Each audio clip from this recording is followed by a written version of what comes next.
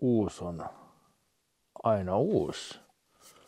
Ja en tiedä kehitystä.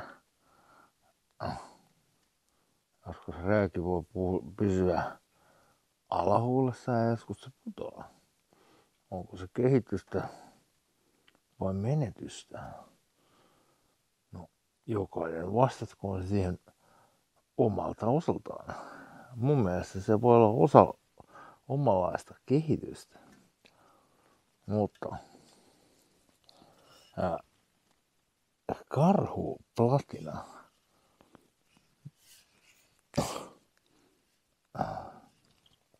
Se on ainakin kehitystä, että ymmärtää, että ja rööki roikkuu suussa, niin puhe ei ole niin selkeä kuin se muuten olisi juurissa. Karhu platina kehittynyt kamera ottaisi platinan haltuunsa. 4,5 prosenttinen jotain hirveä teksti, pitkä teksti siis. Suomessa luotu uudenlainen ja ensiluokkainen laager, jonka maku on poikkeuksellisen selkeä ja raikas sen rassakan ja janon sammuttavan luonteen salaisuus piilee jäisen viileässä kahden miinusasteen kylmäsuorituksessa, joka viimeistelee oluen huurteisen virkistäväksi. Ai. Eli kylmä suodatus. Nyt minä uskon sinua.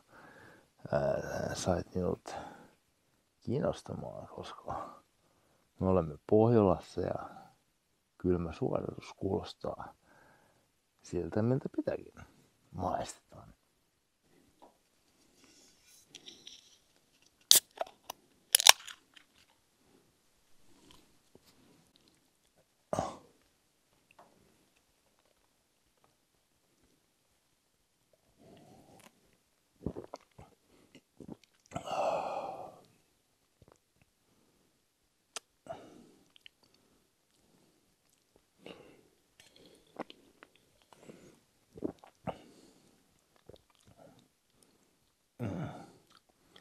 Tasapainoinen, tasapainoinen laager, jossa on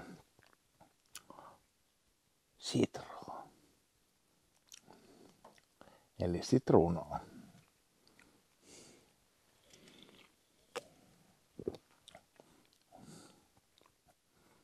Jumalauta. Onko karhu lähtenyt Etelän maihin? Häh? Nyt vaatii tutkiskelua.